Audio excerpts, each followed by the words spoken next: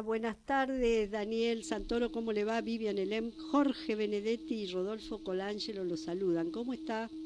¿Qué tal? ¿Cómo están, compañeros? ¿Cómo anda? ¿Todo bien? Todo bien, todo bien. ¿Sí? ¿Está muy ofuscado con la situación o tranqui?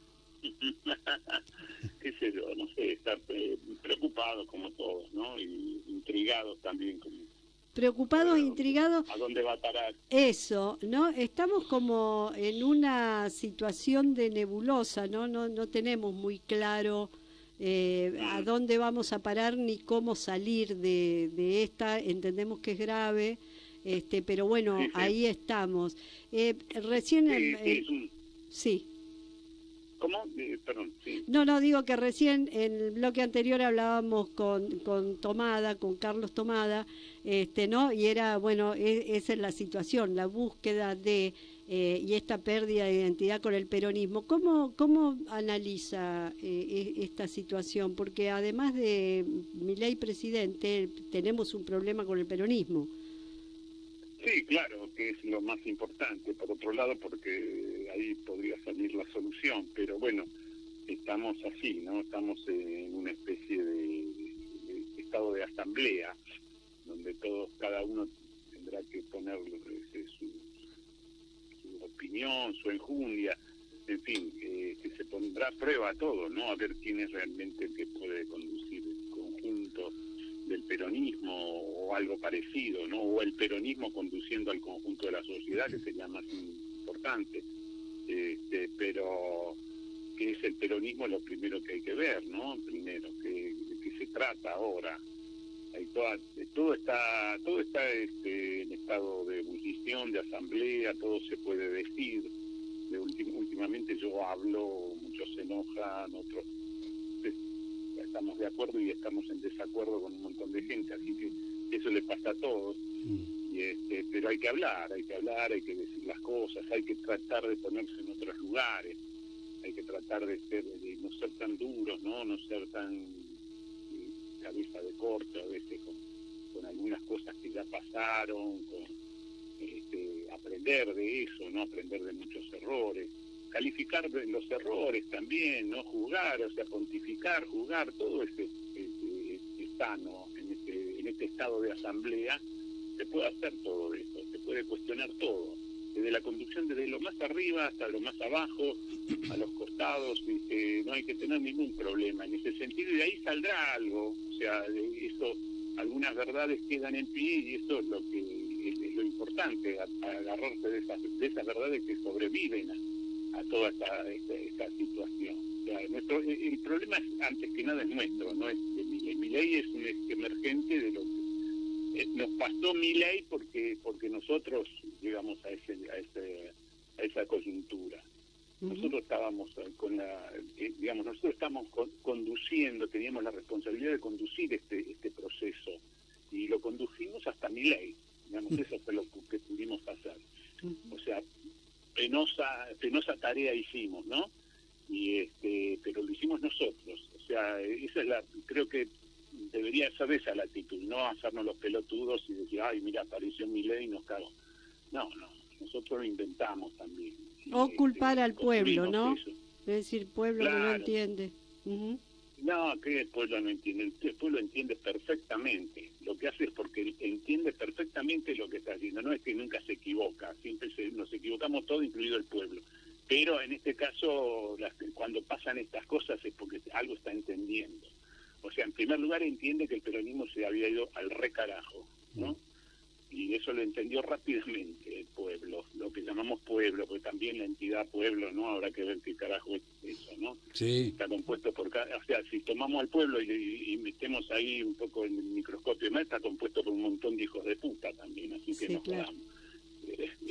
así que bueno, entonces tampoco hay que hacer eh, una santificación del pueblo. Bueno, lo que la sociedad argentina, el pueblo, nosotros nos gusta llamarlo pueblo, está bien, está todo bien, pero te hace mierda cuando este, los tipos ven, se asustan, ¿viste? asustamos a la gente nosotros, hicimos cada pelotudez que la verdad que asustamos, damos miedo, dimos miedo y ahora tenemos a este que es el horror, pero bueno, tenemos la consecuencia, claro, pero siempre los problemas son nuestros, yo no creo en otra cosa, o sea, no no creo que nosotros somos inabordables y que tenemos las verdades totales y que y que lástima que el pueblo no entiende cómo hacer una revolución y que y que no, no tiene el estado de conciencia que nosotros tenemos, no sean un pelotudo, no nada más. Daniel, en esa en esa descripción que hacías de la de, de, lo, de, lo, de, lo, de, los, de lo sano, perdón por usar ese término, de la, de la discusión de todo o de toda la efervescencia arriba y abajo. Eh, de ahí, digamos, el problema siempre funciona cuando, cuando surge una, como una voz más fuerte, como, como si alguien se quedara con eso, como si ahora en estos días te diría, eh, eh, con susto digo yo, bueno, otra vez hay alguien que está diciendo, vamos a armar para el 25 lo que tenemos, o sea, es como si estuvieran haciendo listas, como si nada hubiera pasado, o otros que solo quieren romper. ¿Cómo, cómo imaginas ese, ese, ese guiso final? No, bueno, por eso, o sea, vamos a tener problemas y, y, el problema siempre es, una conducción. El peronismo es eh, eh, no es homogéneo, en primer lugar. O sea, el primer problema grave, no es homogéneo. Homogéneos son los partidos trotskistas, era el antiguo PC, digamos, esos son partidos homogéneos. O sea, el que no piensa exactamente como piensa la conducción se va y arma otro partido, ¿no? O sea, esa esa es la condición de, en general de las izquierdas y algunas derechas también, no muchas derechas también. O partidos homogéneos, partidos fascistas que también hay todo un decalo de él que no está de acuerdo con eso, se va. Eh, entonces, el peronismo no es así. El peronismo siempre es movimentista y el peronismo siempre es heterogéneo. Y esa es una clave fantástica que es la que nos da la sobrevida. O sea, ¿por qué está sobreviviendo 70 años de, con mutaciones increíbles? O sea, mutaciones que no se, no se, se pueden reconocer unas con otras. Incluso así sobrevive el peronismo, ¿no? Estoy pensando en Menem y demás. Mm. Este, y con todas esas mutaciones acuestas, con todas esas canalladas, todo, todo eso es parte de la heterogeneidad del peronismo. Nunca es homogéneo hay algunos compañeros que lo quieren hacer homogéneo, que vienen más bien de la izquierda a veces, y, este, y entonces no, el peronismo, esto no es peronismo, entonces esas giladas que se, se dicen, ¿viste? bueno, qué es eso. En determinado momento se puso homogéneo el peronismo, o sea, cuando, cuando el, eh, por ejemplo, cuando lo conduce, eh, digamos, una conciencia demasiado progresista, estoy diciendo así como, este, así, ¿no? O sea, demasiado progresista, porque el peronismo siempre es progresista. Pero cuando hay desde esa conciencia tiende a ser homogéneo de nuevo. Entonces, ah, no, son determinadas cosas, o sea, nosotros estamos eh, con el aborto. Entonces, este, ya está. No es así. El peronismo está con el aborto, contra el aborto, no le importa el aborto. O sea, es heterogéneo, hay que bancarse eso también. Hay que bancarse eso porque parece hasta inmoral. Y no es así. Es lo que por eso son las condiciones en las que vive el pueblo, que son siempre condiciones heterogéneas. Y por eso se conduce, por eso es, un fenómeno popular, porque es heterogéneo. Se piensan de distintas maneras las cosas. Ahora, ¿cómo se conduce eso? O sea, el problema de todo eso, el secreto de todo eso es que haya una conducción. Porque si no hay conducción, la heterogeneidad se derrama para todo lado y se va para cualquier carajo o sea, desde una punta a la otra, y no existe nada, no, no, no, no se puede realizar políticamente nada, porque es demasiado heterogéneo.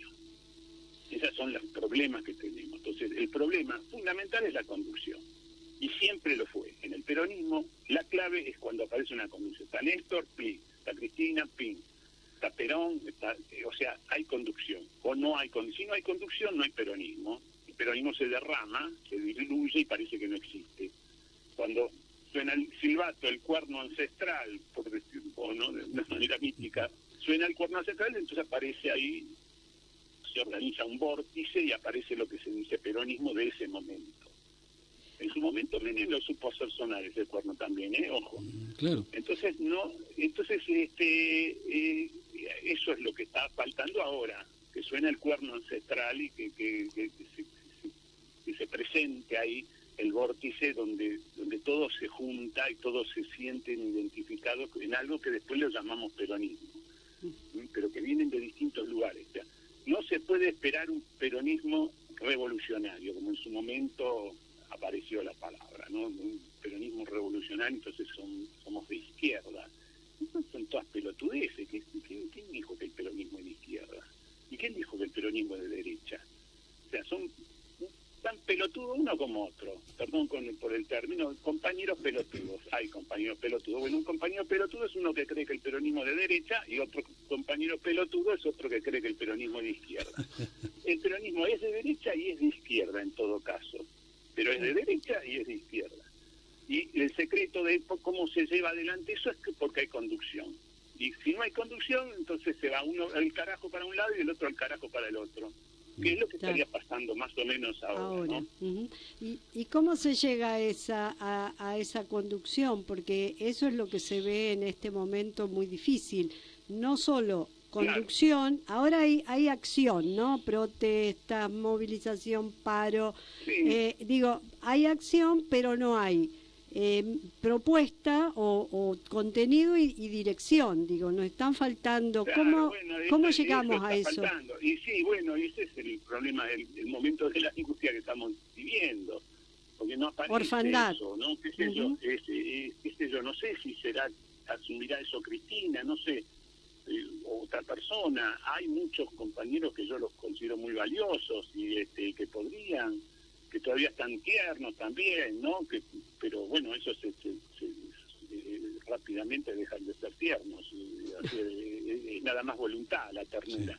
Así que, este, pero bueno, habrá que esperar, hay muchos jóvenes que están en eso, ¿no? Hay algún gobernador, hay algunos intendentes muy interesantes, este, y así que todo eso se podrá constituir en algo, en una Perón decía, si no está la conducción, por lo menos hay un cuerpo, ¿no? Dulce. Y este, qué sé yo, tendrá que haber mucha generosidad ahí, mucha, mucha apertura, porque yo no descarto que hay un montón que están ahora con Miley que, son naturalmente nuestros, y este, yo no lo doy a nadie por bien, empezando por Pichetto y un montón de gente más.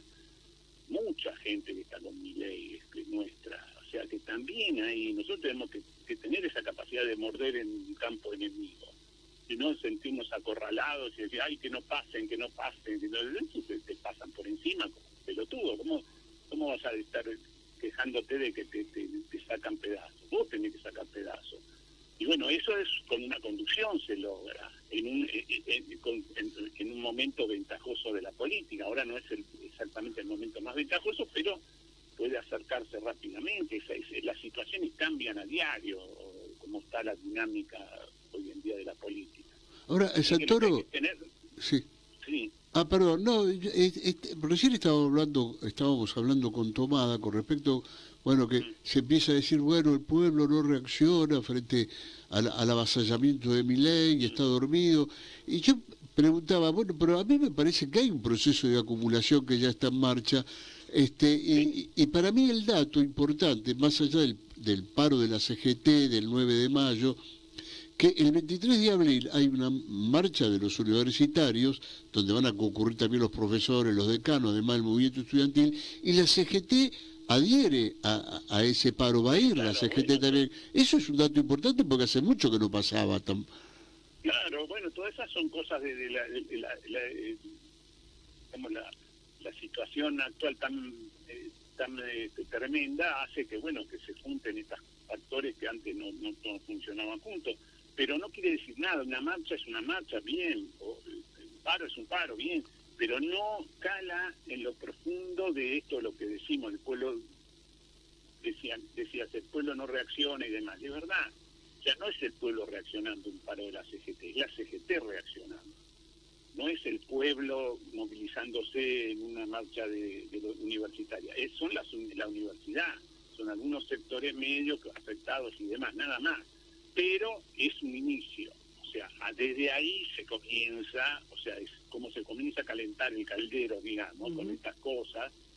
Sí, pero no está, el pueblo todavía no reacciona detrás de, todavía no está el pueblo reaccionando, pero el pueblo tiene más paciencia que nosotros, que todos, ¿no? O sea, digamos, la gente votó, bueno, vamos a ver, vamos a ver, vamos a ver, vamos a ver, hasta que se cae toda la mierda y bueno, entonces ya no vemos más. Pero este, es, más, es más cataclísmico la, la popular. inesperada, se da de para el carajo, y si no hay una conducción constituida, no la conduce ni Marulo, o sea, se la conduce anda a saber En este caso, mira quién está, mira, y podría ser mucho peor, ¿eh? ¿Peor? claro, no, claro, o sea, si hay una un cataclismo, podría ser mucho peor el resultado. O sea, e, eso si no estamos nosotros, ¿no? Mm. Claro. O sea, e, ese es nuestro problema. Hay, hay... grave en ese sentido. Que No sé si vamos a conducir el quilombo. Eso es lo que yo Claro. Bueno, eh, eh, digo que parte de, de, ir hacia esto que, que falta es conducir el quilombo. Eh, ¿no? Porque si no conducimos el quilombo y con una brújula más o menos, decir, bueno, vamos para ahí y en los próximos tres años tenemos que resolver y nos comprometemos a resolver tal cosa, ¿no? es decir, con un compromiso real. Y aparte, no podemos estar pensando todavía en, esa, en viejos esquemas del peronismo, CGT, movimiento estudiantil, cosas eso es chiquito, ¿eh? tenemos que abrirnos mucho más. O sea, hoy en día la sociedad está con otras expectativas, la gente, ya, ya ves los pibes que están con mi ley, son una sorpresa política, y sin embargo actúan. Y eso nosotros no estamos conteniéndolo dentro de las viejas estructuras del peronismo. ni conteniéndolo ni viéndolo, ¿no? Porque, eh, eh, digo, eh, no uno de los planteos es, ¿se sale igual después de esto? Digo, Claro. y eh, bueno, y todo... no hay que buscar otros métodos, no hay que plantearse... Exacto. Totalmente así. Bueno, todos esos otros métodos y todas estas otros actores que están apareciendo en la política, que quieren participar, evidentemente, desde las redes sociales, todo que nosotros odiamos las redes sociales porque parece que están todas en no es así, las podemos tener totalmente para nos usarlas bien, virtuosamente nosotros, o sea, proponernos esas cosas. Sea, no podemos estar en contra de, los avances tecnológicos incluso. Veo algunos compañeros un poco viejos ya, ¿no? En eso, en ese sentido de que tenemos que renovar esas cosas, qué sé yo, incluso todo el tema de lo que era la vieja alianza del PRO, todo eso está hecho pedazos y ahí estamos nosotros, desde Lilita Carrió hasta, hasta la reta. Ojo con eso, también ahí hay que ver qué, qué, pasa con eso, ¿no? O sea, que, cuando hablamos de conducir, también ahí estamos. Porque si no, me parece que vuelve el peronismo, ¿no? Como el, el, viejo fantasma de la historia. No, vuelve una mierda. Ese peronismo no vuelve una mierda, vuelve otro peronismo. Y eso es lo que tenemos, y, tenemos que saber qué es, eh, o sea, cómo, cómo se constituye. Entonces tenemos mucho material, muchos pibes jóvenes peronistas desde el perón que se hicieron peronistas ahora incluso que, tienen que quieren digamos que, tuvieron una experiencia más desde el progresismo y ahora quieren tener la experiencia peronista. Todo eso son las novedades pero eso es para constituir el núcleo duro de conducción. Pero hay que conducir un conjunto un conjunto muy amplio que no podemos darnos lujos ahora de decir ah no eso es gorila eso es... no no, no hay que hay que parar con eso, ¿no? O sea, eh, eh, todo, todas esas cuestiones de que, porque parece que estamos haciendo un, un, análisis de la actualidad, pero con la, mente eh, puesta 20, 30 años atrás. Y no es así, no, no es la, no es aquella experiencia, ya no es la experiencia kirchnerista, mm, es otra experiencia que, habría que, habrá que inventar y tendrá que aparecer precisamente, la clave de todo es que aparezca una conducción, alguien, un conductor en serio, que se haga cargo de esto a partir de una emergencia de todas estas cosas, que surja desde ahí. Eso sería lo ideal. Es un desafío grande porque eh, también hay que desarmar esa mentalidad de construcción de eh, la, la verdad absoluta, ¿no? De la cual venimos hace mucho tiempo. Entonces, yo miraba el armado que se ha hecho en Capital, que hay interna, entonces se presentan listas para luego acordar y se acuerda sin más ni menos en una mesa, eh, te doy tres, me das dos. Digo, de, eh, mala señal, mala señal. Claro, exacto, exacto. Habrá que ver, hay que dar oportunidades y hacer, y, cada uno, hacer andar a cada uno, a ver dónde renguea cada uno, ¿no? Pero tienen que andar, o sea, tienen que, que, que En el capital hay muchos, hay de, todo, está desde Leandro hasta, hasta Valdés, hay, y un montón de otras este, expresiones que quieren participar. Hay mucha gente, o sea, no tenemos tan, no estamos tan mal en realidad. Lo que estamos mal es en, la perspectiva que le ponemos a las cuestiones, a lo que creemos, que, o sea, que creemos que va a volver el peronismo aquel, y no es así, tenemos que inventarlo. O sea, eso es el, el, tema. El desafío es grande, porque lo que hizo Milei es, eh, es un, performer, o sea, más, más bien para el lado del artista, este, del Entonces le salen cosas, le salen bien, le salen mal, pero es performático. Y entonces siempre es un desafío eso. Entonces estamos en manos, por eso produce angustia, porque está dentro del territorio del, del arte, no de la política, en, su, en su forma de expresarse. Y después, claro, es el horror político, porque es un horror, todo lo que hace es espantoso.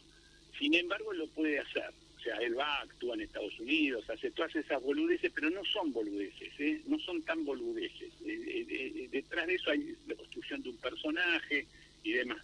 Ahora, cuando llega a un límite, cuando las cosas no se le no se le den, digamos, como se le vienen dando, este, es catastrófico para él también. O sea, también, eh, o sea, son cosas que, eh, como toda cosa artística, ¿no? Está en un momento florecito y de pronto, pum, está todo de culo.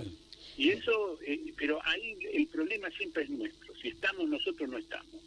O sea, el enemigo, el enemigo ahora se está haciendo una fiesta y lo está aprovechando al pibete este, precisamente por eso, ¿no? Porque tiene esas condiciones de que se puede poner detrás de él y, aprovechar y hacer sus negocios. Bien, el enemigo no se va a entregar tan fácilmente. Nosotros tenemos que hacer una construcción política muy grande y muy amplia, muy amplia. O sea, la amplitud es, ante todo, es esa visión. Por eso es una conducción la, eh, la que puede llevar adelante un frente tan amplio político si no hay una conducción, ese frente no se constituye porque se pelean entre ellos en medio. Es muy difícil llevar adelante eso. Sin, si hay una conducción, se, se puede llevar. Y la conducción puede ser colegiada, qué sé yo, no sé, o alguien. Pero, pero hay que ir a, construir, ir a construir eso y no pelearnos entre nosotros, yo escucho cada cosa que me da. no, no, sí, se escuchan, se escuchan muchas muchas cosas que desalientan, además de lo, el desaliento de no ver claramente. Daniel Santoro, muchas gracias por atendernos y bueno, seguimos en contacto para ver cómo evolucionamos. Muchas gracias. Un abrazo.